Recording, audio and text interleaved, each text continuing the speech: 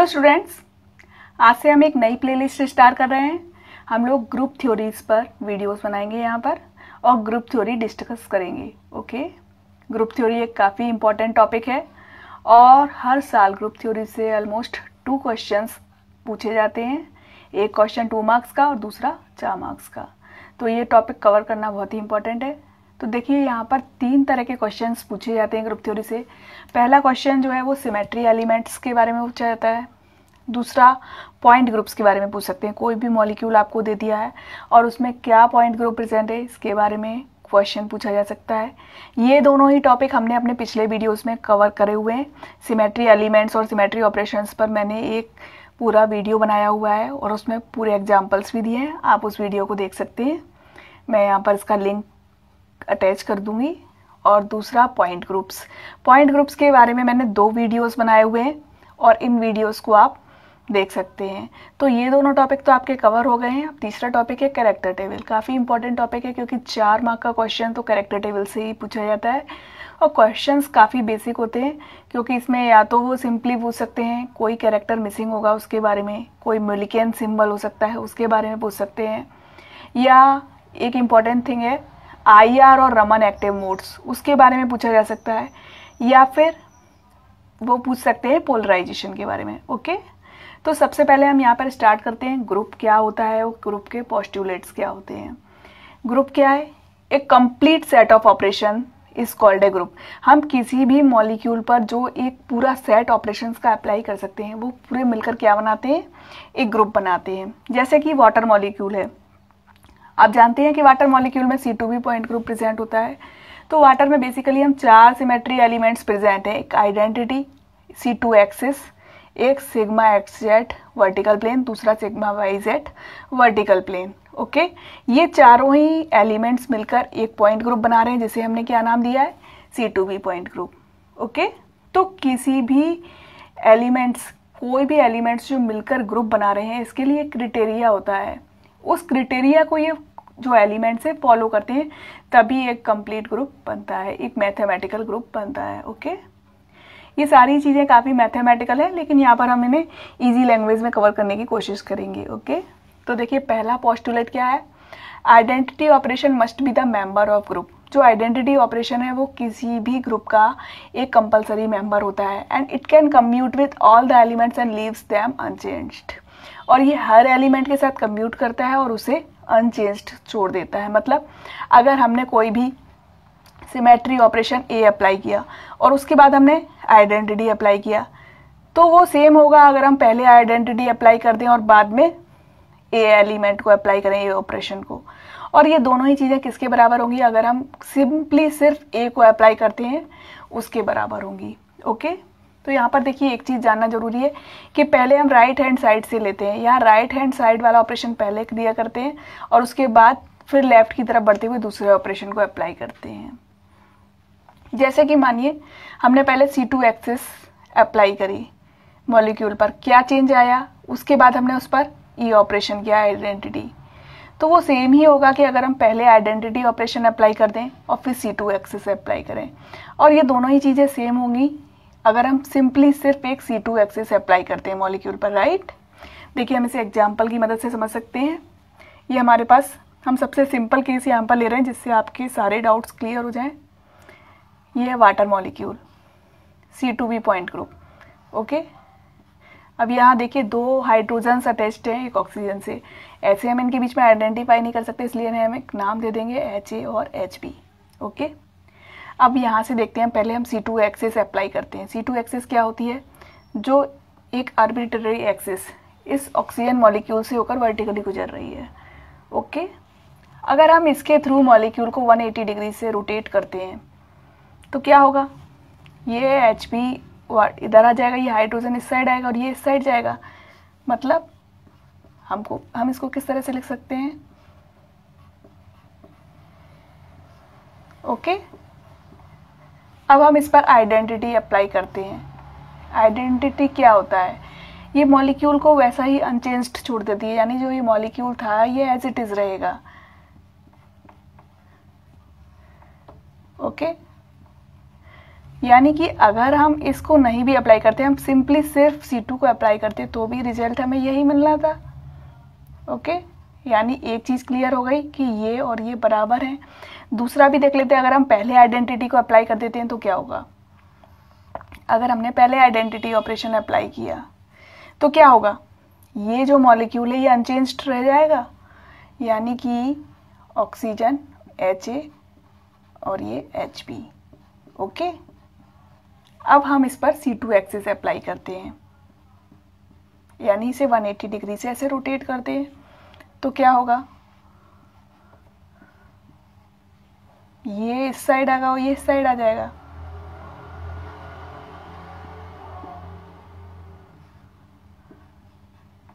आप देख सकते हैं दोनों ही सेम है सेम रिज़ल्ट हमें मिल रहा है ओके तो यानी ये कम्यूटिव हैं, दोनों कम्यूट कर रहे हैं, यानी कि ये जो हमने अप्लाई किया था, वो एकदम प्रूव हो जाता है।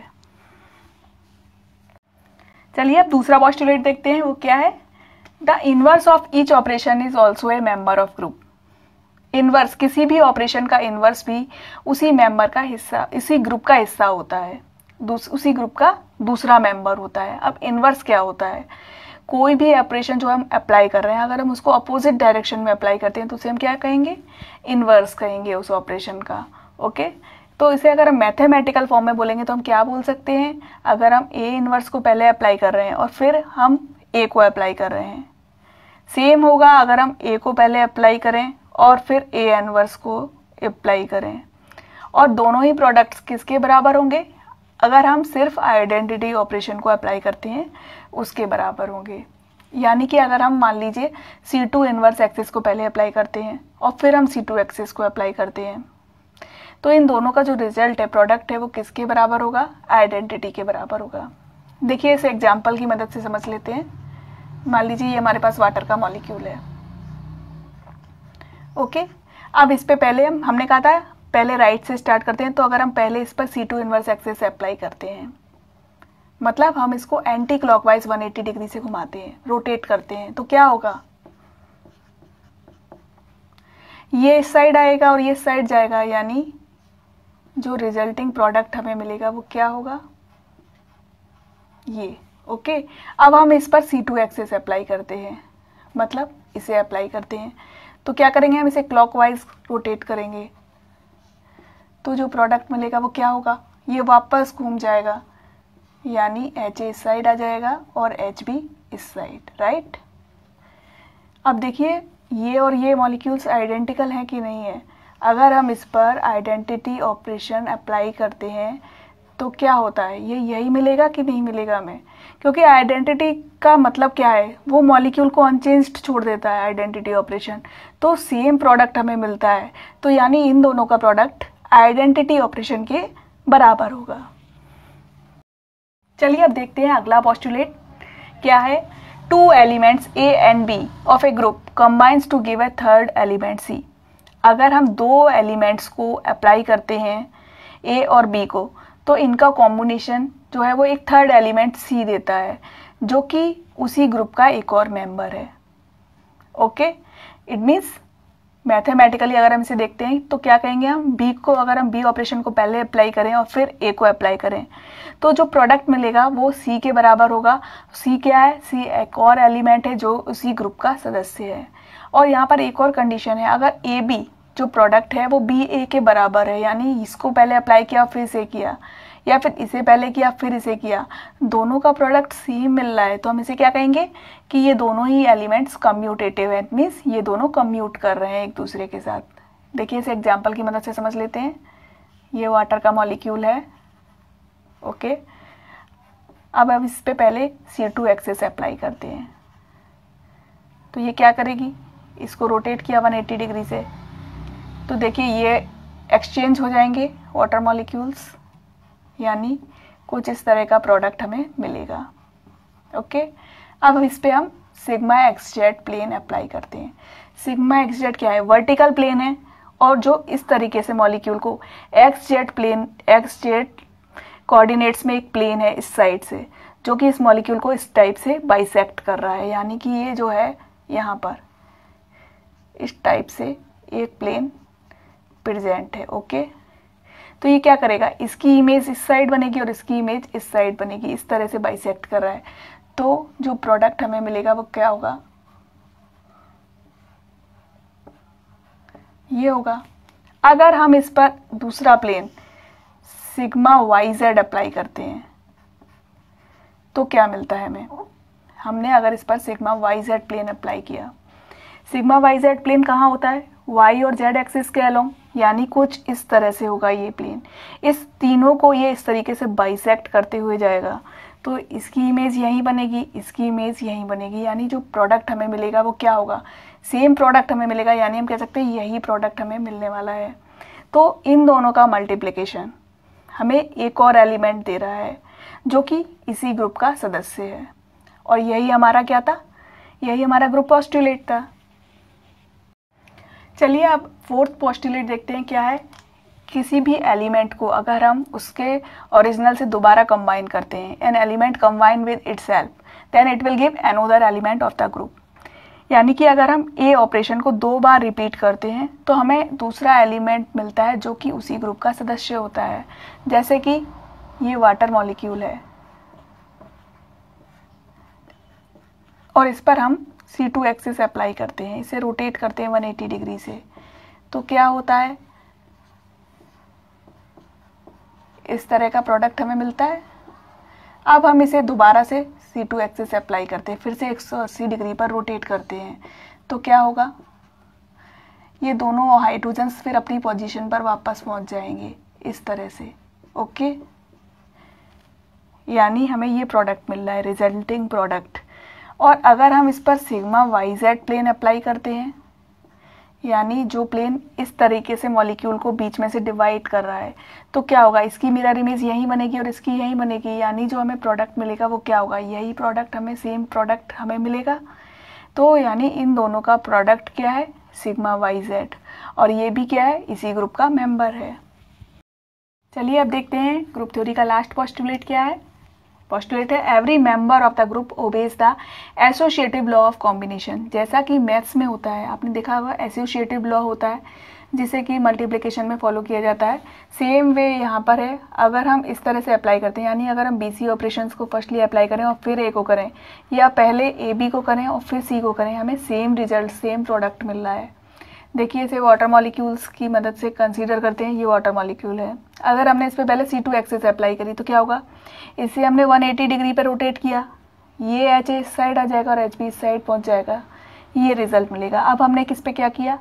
सिग्मा वाई जेड प्लेन डाला। सिग्मा वाई जेड प्लेन मतलब इस तरह से प्लेन डाला जो कि तीनों मॉलिक्यूल्स को बाइसेक्ट कर रहा है। तो क्या होगा? इसकी मिरर इमेज यहीं बनेगी और इसकी यहीं बनेगी, यानी हमें ये प्रोडक्ट मिलेगा। अब हमने इस पर sigma X Z plane apply किया।